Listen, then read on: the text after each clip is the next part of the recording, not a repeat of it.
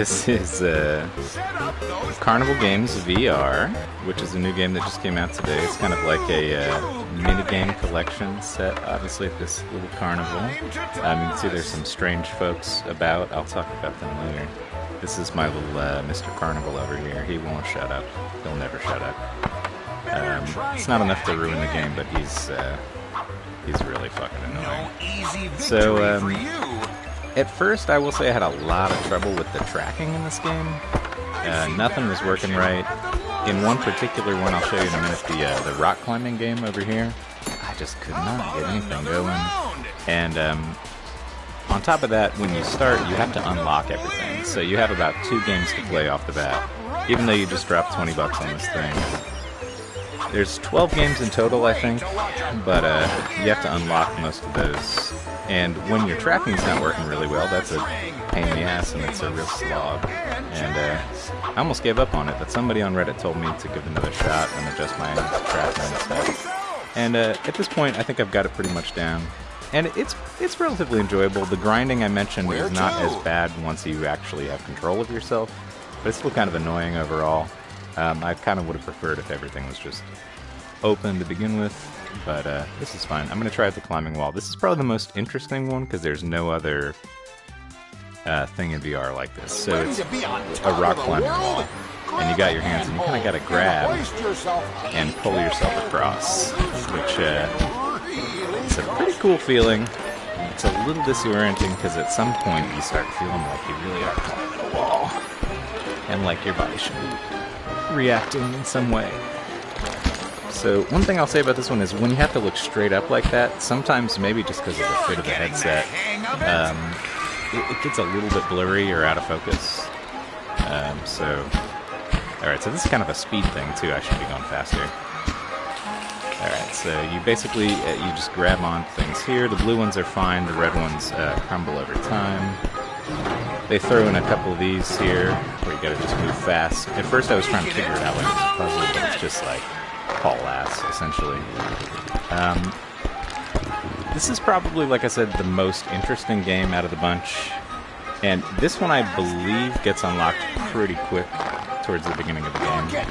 So uh, it's one of the first ones you get, and uh, definitely worth checking out. It's a it's a pretty cool feeling just climbing around like this.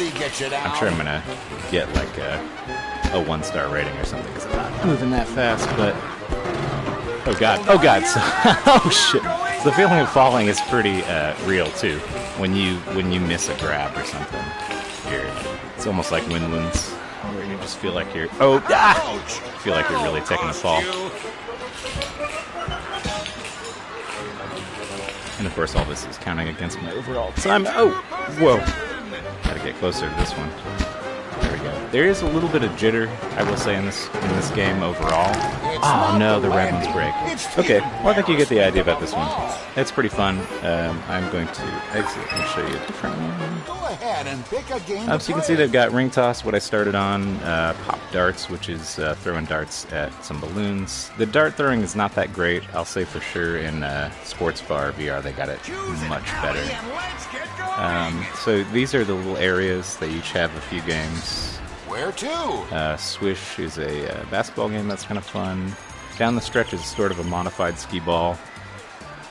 Fast pitch. Uh, oh, this one's fun. I'll do this one. So fast pitch, you have a catcher's mitt, and they throw all these crazy, uh, crazy pitches at you. I don't know how catchers. Honestly, I never watch baseball, so I don't know if they use their left hand or their right hand. But I'm gonna use my left hand because I did better last time. I used my left hand. They'll throw you some crazy ones here. Up, got it. Yeah, didn't get that one. The snake. The snake is wild. There we go. Hokey Joe. Ah, Jesus. Not another Hokey Joe. Two in a row. Shit. Ah, this. I feel like it hit me. Nah, see, I'm just, I'm just doing terrible on this one. It's pretty fun though. This is one of my, one of my more uh, favorite ones. And so at the end of each one, you get these uh, tickets, which for the beginning of the game you use to. I'll show you over here. You got your little uh, prize gallery should pop up. And um, as you go through, there's all these optional things that you can play with in this area called the playroom. Uh, I'll just buy one to show you that. So you drop it in a little bucket. It is purchased.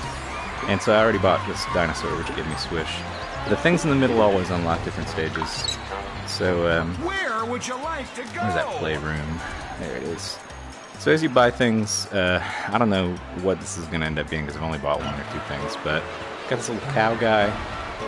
Kind of toss him around. There's this. Now where's the guy I just bought though? Hmm. Curious. Well, you point at these things and you can kind of teleport around the stage.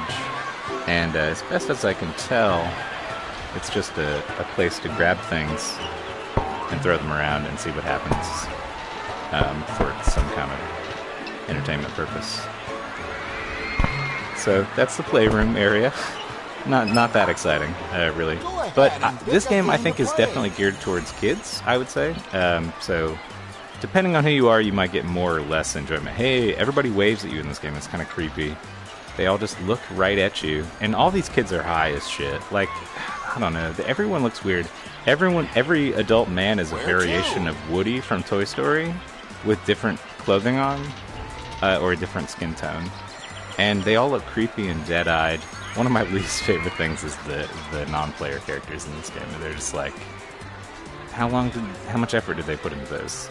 Look at these fuckers. So they just randomly generate like different outfits on them. Like, look at this girl. She's got a mustache. This guy's wearing a mask. Nobody cares what they're wearing. It's like, I don't know. So, uh, Cowpoke, this is where you start. This game's kind of fun. It's the, uh, you toss a baseball at a milk jug. Seems like it's giving me the tutorials every time. Now, one thing about this game is I can't really tell if it's better to use real motion, like really chuck the thing at it, like you'd expect to, or just do how they show you in the tutorial and just like fast forward. So that's not really how I'd play a game like this, but that seems like what they want you to do is just kind of chuck it like that forward. Oh. Oh my goodness. Now that I have an audience. Alright. Nice.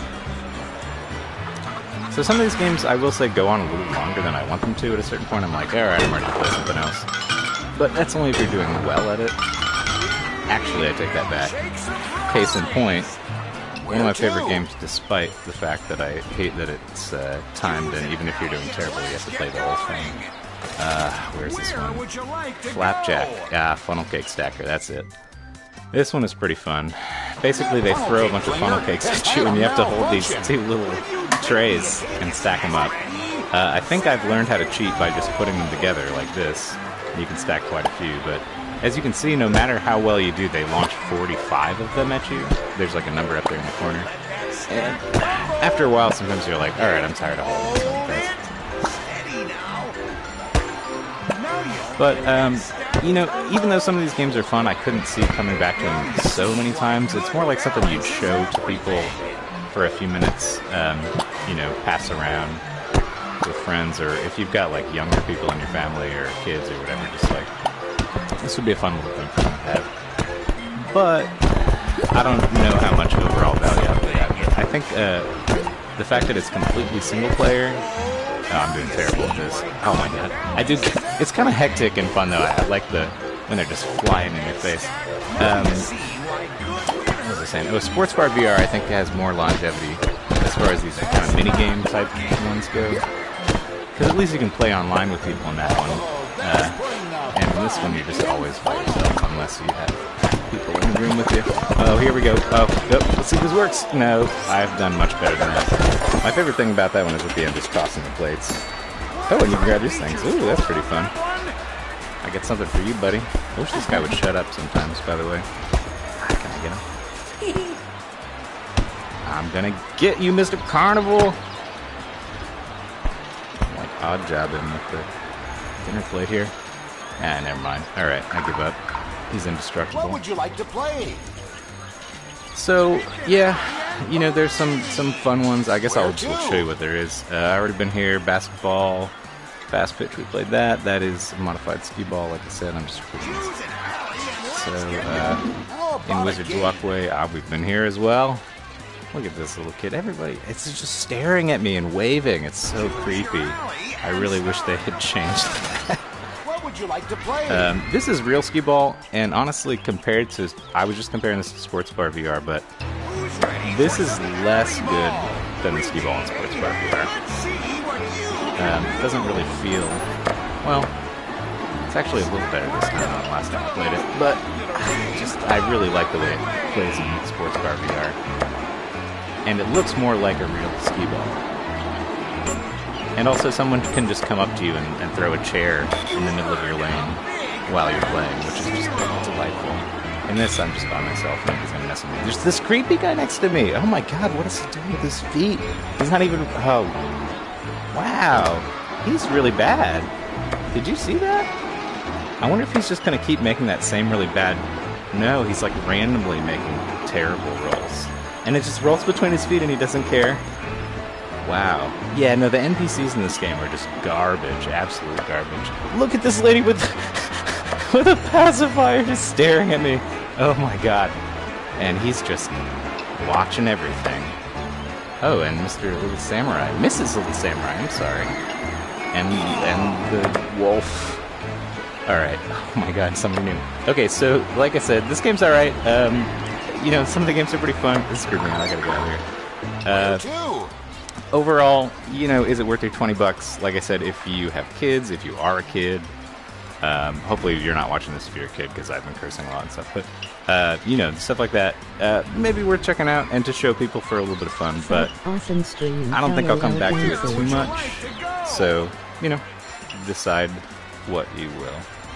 Uh, and I think that's it. Goodbye, Mr. Carnival. Goodbye, everyone. Oh, hello. God. God, they just. Oh, wow. Some of the fashion choices. What would you like to play? Anyways, alright, that's the end of my review. Uh, signing off.